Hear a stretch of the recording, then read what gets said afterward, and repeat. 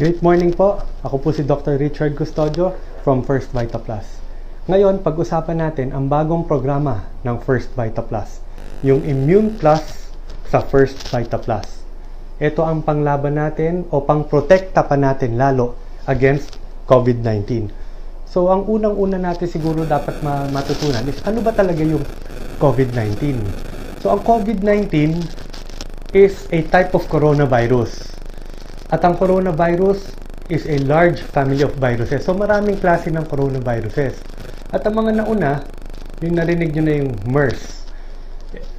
Middle East Respiratory Syndrome yan. Yung SARS naman, nanggaling sa Hong Kong, Severe Acute Respiratory Syndrome. Tapos ngayon may COVID-19 tayo. Transmitted between animals and people.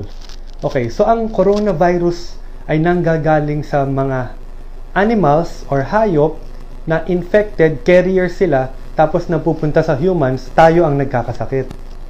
Yung MERS, nanggaling siya sa camels. Yung SARS naman, si vet cats. So, galing sa kanila, napunta sa atin. Etong COVID-19, unknown pa. Maraming theories eh, na siguro hindi maganda ang pagkaluto ng pagkain, may mga iba-ibang alam mo exotic na parts ng mga animals kinakain na hindi malinis, nandun ang virus, maaaring na-transfer sa atin. So, pero as of now, wala pa ring exact na natuklasan kung saang animal siya galing. Okay, ano pa? Common signs and symptoms ng COVID-19. Fever, cough, colds, shortness of breath, or breathing difficulties. May mga some na patients nagdevelop ng sore throat, body aches, and diarrhea. And in severe cases, full-blown pneumonia, hihirapan na huminga, severe acute respiratory syndrome, pwedeng mag-lead to kidney failure and even death. Ito ang itsura ng coronavirus. Kaya siya ginawang, o kaya siya natawag na coronavirus, is typical ang shape nila, pabilog, na may ring sa side. Kaya, kaya usually ang name describes yung itsura nila. So, ganyan ang nasa microscope na itsura ng coronavirus. Okay. Marami kasi ngayon na lumalabas, iba-ibang balita. Hindi na natin alam kung totoo or fact sila. Etong aking data galing sa World Health Organization. Does the new coronavirus affect older people? Or are younger people also susceptible? So, sino ba ang pwedeng mahawa sa coronavirus? Ang answer, all ages. Walang ligtas. Lahat tayo prone. Bakit? This is a new virus. Bago to. So, ibig sabihin, ngayon lang ang humans na infect nito, wala pa tayong natural immunity na na-build against sa virus. So, kahit malakas ang immune system mo, pwede ka pa rin mahawa. Yun nga lang, pag malakas ang immune system mo, nakaka-develop ka agad ng panlaban sa kanya. Kaya yung iba, kahit nahahawa, nakaka-survive. Ang susceptible talaga magkaroon ng complication, complication yung mga yung mga ano, yung mga lumalala ang kondisyon nila at delikado buhay. Yun from the start, kinapitan ng coronavirus tapos mahina ang kanilang immune system. So very important pa rin ang role ng immune system. Pero all ages, tandaan nyo, pwede tayo ma-infect. What else? Ito, fact. The new coronavirus can be transmitted in areas with hot and humid climates. So may mga narinig akong balita na sa malamig daw, nagsa-thrive yung virus. Pero pagdating sa mainit na mga countries, hindi na daw siya kayang mabuhay. Kaya yung iba, I think umaasa pagdating ng summer, mamamatay na yung virus. Pero ito ay ito ay news galing sa World Health. Nabubuhay siya sa hot and humid climates. Ibig sabihin, kaya talagang mabuhay dito sa Pilipinas. Are antibiotics effective in preventing and treating the new coronavirus? The answer is no. Antibiotics ay para sa bakterya. Ang virus, hindi gumagana sa kanya ang antibiotics.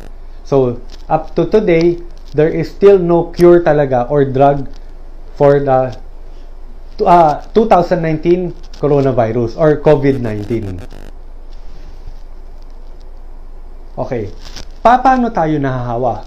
So, kunwari, nahawa na ang isang tao. Makakahawa siya pag siya ay huminga, tapos part ng kanyang breath magkaroon ng droplets. Maliliit yan na pwedeng lumutang sa air, mapasa sa iba, pagkahinga nila, makuha nila yung droplets. From the nose, throat, and mouth. Pwedeng lumabas yung droplets na may virus. So, imaginein mo, nag-sneeze or nag-cough, mas malakas ang force nun na mas maraming tumatalabsik na small droplets na potentially merong virus. So, COVID-19 can spread person to person. The virus can live on surfaces and they can get on our skin. So, for example, naubo siya, tapos kumain siya.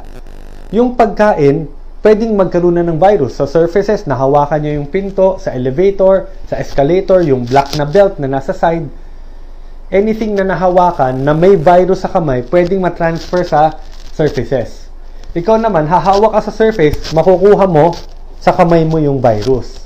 At paano mapupunta sa'yo? Pag ikaw mismo, nahawakan mo yung parts ng katawan mo, bibig, ilong, even mata, na-rub mo lang ng konti at nandito na yung virus sa kamay mo, pwede na siya ngayon makapasok sa katawan mo. So, from the other person, mapupunta sa kamay niya, hahawakan niya iba't ibang mga objects, bagay.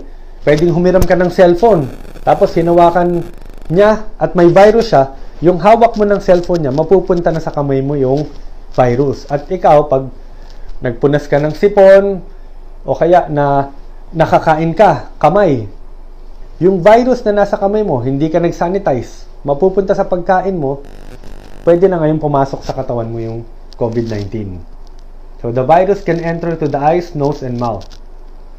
Preventive measures for COVID-19.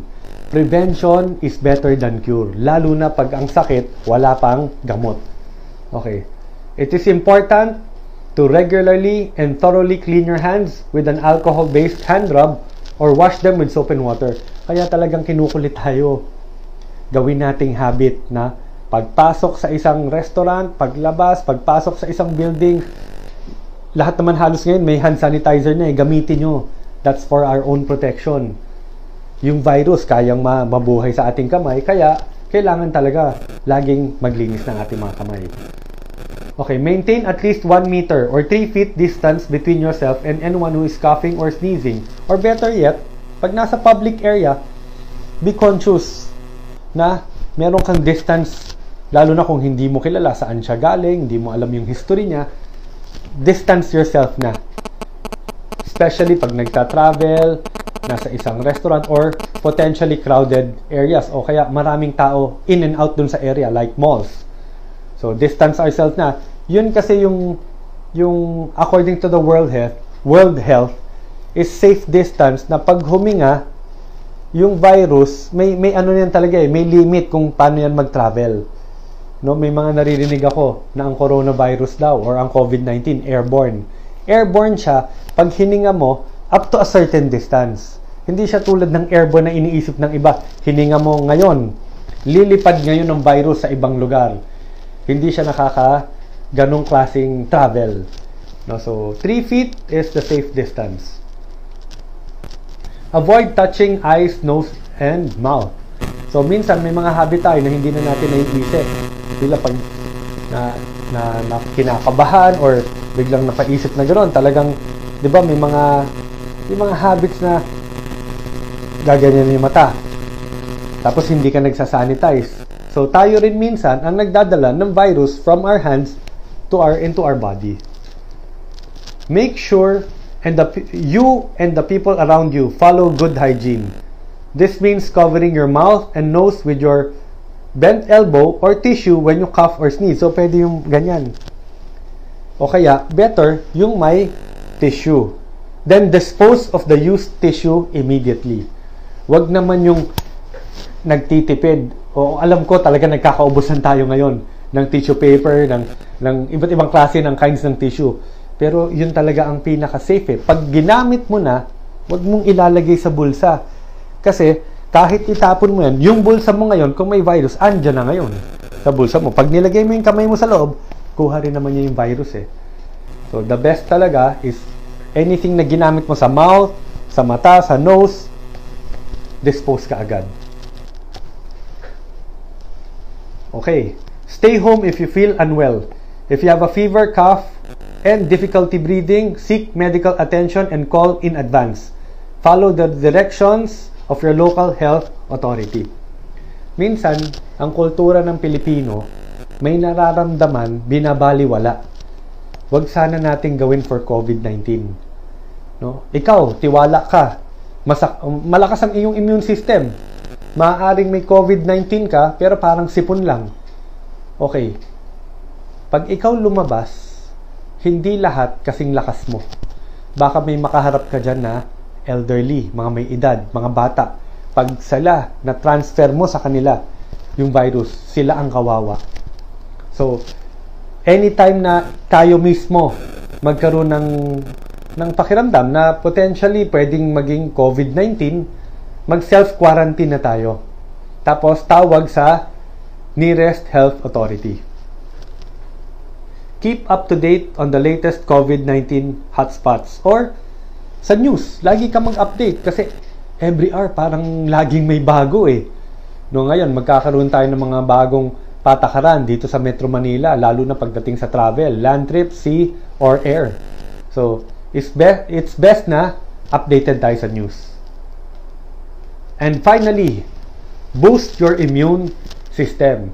Etong pag-boost ng immune system, this is important for COVID-19 at sa lahat ng iba pang sakit. Siyempre, ang immune system, hindi lang naman sa COVID-19 eh. Pinoprotektahan na tayo niyan sa maraming iba-ibang klaseng sakit. So, ang immune system, isa sa pinakamagandang defense natin pag lumakas siya. Okay, how do we boost our immune system? Kung kayo naninigarilyo, itigil nyo na. Hindi lang COVID-19, napakaraming sakit na pwedeng makuha sa sigarilyo. Kung iinom ng alak, alcohol, drink moderately. Get enough sleep. Marami ng studies ngayon na pagpuyat, sama mo na ang stress, avoid stress na.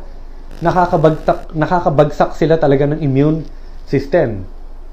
Exercise regularly, ang tip ko dyan, matagal ko na rin sinasabi, at least 30 minutes every day. Maganda may regular exercise tayo, nakaka-boost yan ng immune system. And have the proper nutrition imposible na malakas ang immune system mo pag kulang-kulang ang sustansya mo. Kaya nga ang mga bata dito, lumalaki talaga, sakitin na eh. Bakit? Sila nga mismo, hindi proper na ang nutrition eh. Kung ano pa yung mga bawal, yung mga junk food, fast food, instant, no? Konting-konti ang nutrition, oo, masasarap. Pero pagdating sa sustansya, wala. Kaya bagsak ang immune system. And I would recommend sa mga taong ayaw na talaga o hirap maggulay, andito First Vita Plus. Drink First Vita Plus every day. The first Filipino vegetable drink. So sana po ay nakatulong ako sa inyo kahit papano nalabanan natin ang COVID-19. Once again, this is Dr. Richard Custodio at thank you sa panonood nyo ng video ko ngayon.